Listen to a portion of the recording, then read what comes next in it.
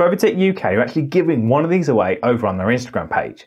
So if you're from the UK or the EU, shoot over to Instagram, have a look at Fovitec UK. There's a link down in the description below to see how you could be in with a chance of winning this very monolight. What up folks, Alex here, Mr. Alex Tech, and this is the Fovitec Studio Pro 100 watt monolight.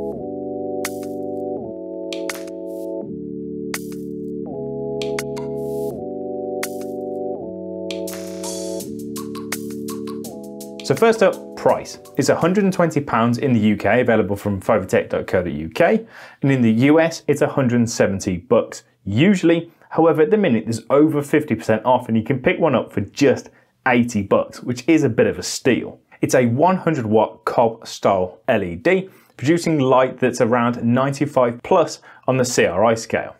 It is a single color light, so there's no adjustment for white balance. However, it's daytime balanced at 5600K. And it comes in at 5620 lux at 1 meter with the included reflector attached. Right, let's crack open the box and I'll show you exactly what you get. So, here it is. Crack it open. There's not much in here, so it's a real quick unboxing. First up, we've got a power cable. This is a two prong, I think this is a US style. Then we've of course got the UK power adapter. I've already opened that, as you can tell. And then of course, we've got the light itself. Now, handily, it also comes with this little protector. So you can protect the LED when it's in transit. And then last but not least, we've got this metal seven inch Bowens style reflector. And that's it, that's all you get in the box. And here it is. Now as you can see, the body is made mainly of hard plastics and aluminium, while the actual light stand mount at the bottom is made entirely of metal and it does feel reassuringly solid.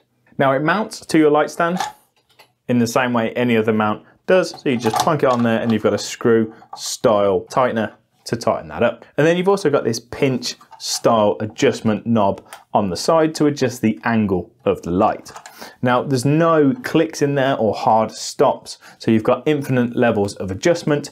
Now sometimes with these pinch style tighteners, you can end up with a little bit of slip, but so far in my usage, even with a relatively heavy front light modifier attached, it hasn't slipped or changed angles on me just yet. Now as you can see, it's relatively compact, but admittedly there are smaller monolights available on the market. Weight is pretty reasonable. It comes in at just over two kilos with the reflector attached. We have vents across the top and the bottom to help with heat. And at the rear, we've got a plastic carry handle just to make life that little bit easier. And then if we flip it all the way around, on the back, we've got all of our main controls.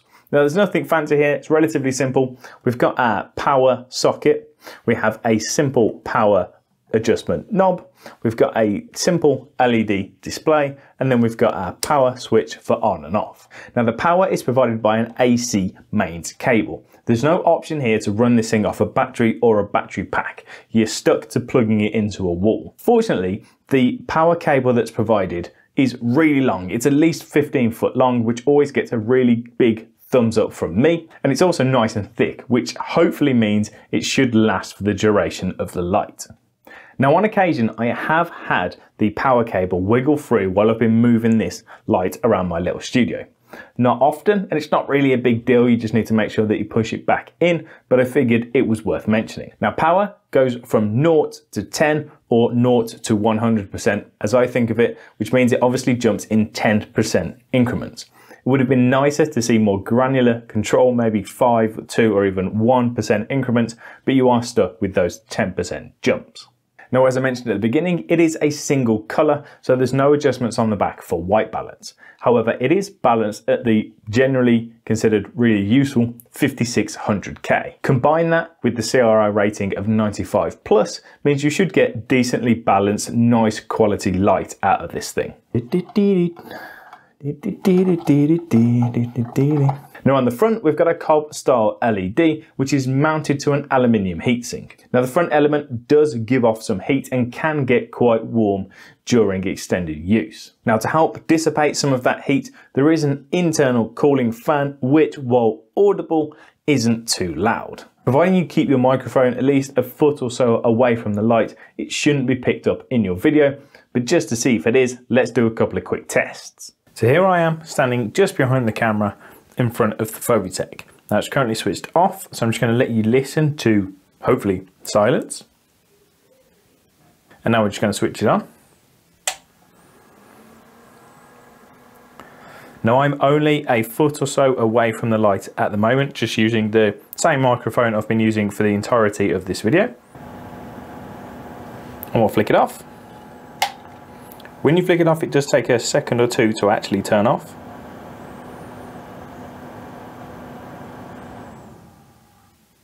And there you go. Now it's also worth noting that the fan kicks in as soon as you turn the unit on and it seems to run at a consistent speed. It doesn't speed up or slow down depending on the power. It's always running and always making the same amount of noise whether you're running at 10% power or 100% power. Now the light has a 120 degree beam angle, which means without any light modifiers on it at all, it just sort of sprays light all over the place. Now that of course is where this comes in. This is the 7 inch reflector that is included within the box and it does a really good job of condensing all that light and reducing the beam angle down to just 45 degrees. However, it does a really great job of condensing the light. It does very little in terms of softening the light. So you will still get harsh shadows from this thing out the box without using any other or additional light modifiers. So if you're looking for nice soft light from this thing, you are gonna to have to have a look at purchasing some additional light modifiers. Fortunately, this thing has two types of light modifier mount. Of course, at the front, you've got this Bowens style mount, which means you can attach any Bowens star modifier straight away without any sort of adapter, which is really handy.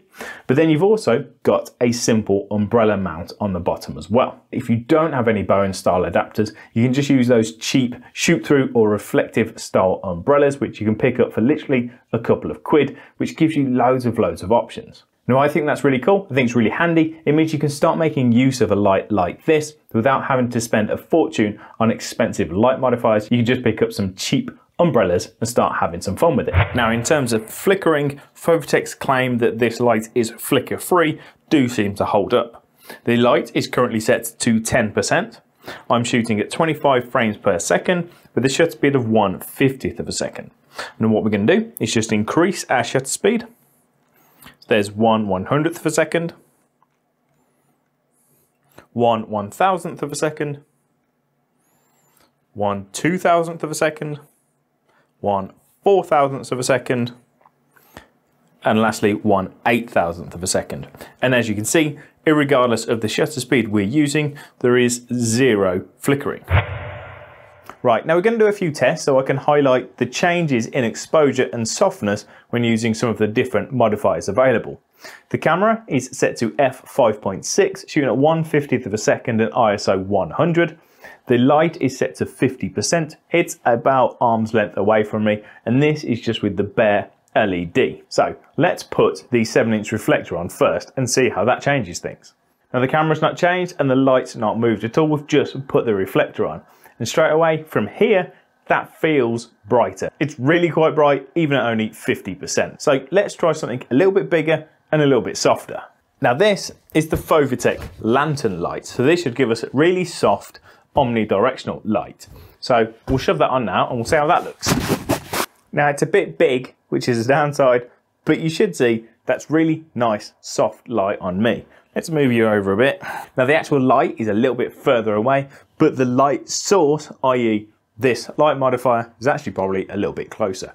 So that should give you a rough idea of the difference in exposure and the softness change. Right, last but not least, let's try an umbrella. Oh man, this is far too big. And this is with a really cheap but really big umbrella softbox which I've just attached via the umbrella mount. Right, we're going to keep with the umbrella and the monolight for the duration of this video. So as you can see, using the different light modifiers obviously makes a world of difference to your usage with this light.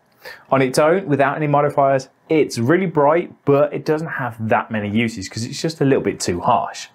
The reflector obviously helps you direct that light, but it doesn't soften it up any. So really to make the most use of it, you do need to get yourself a nice light modifier. Now the joy of this light having two different mounting options means there's loads of choice out there. So you can literally just shop around to get the modifier that works for you. Now obviously having all those different options is really useful, makes this light extremely versatile. However, the big downside, if like me, you're a little bit limited for space, a light like this with a nice soft modifier does take up lots of room. Now, if you are short for space, like me, you can still make it work if you're a little bit creative. However, an LED light panel like that one behind me may actually be a better option. You just need to weigh up whether you want the power and the versatility of a monolight or the practicality of an LED panel. So to finish up, let's just talk about that price. It really is, in my view, a really good price. £120 for a 100 watt monolight is a good price. In fact, I don't think you can find a 100 watt monolight for much cheaper, if I'm honest, and I have had a quick look around. If you're in the States, obviously $170 is again pretty reasonable, but at the moment, the fact that you can pick it up for 80 bucks really is a bit of a steal. So overall, I am quite a big fan of this light. It feels relatively well put together. It's not too big or heavy. It produces nicely balanced, good quality light, and it has a world of modifier options thanks to those two different mounting points, all for a really reasonable price. But that's just what I think. I'd love to know what you think. So please do let me know down in the comments below if you like the look of this thing or if you're considering picking one up in the future. Anyway, thanks ever so much for watching, folks. I hope you've enjoyed this video. If you have, give me a thumbs up. If you've got any comments or feedback, make sure to put them down in the comment section below. And if you're new here, you enjoyed this video, maybe consider hitting that subscribe button. Thanks ever so much for watching, folks. Take it easy. I'll catch you next time. See ya.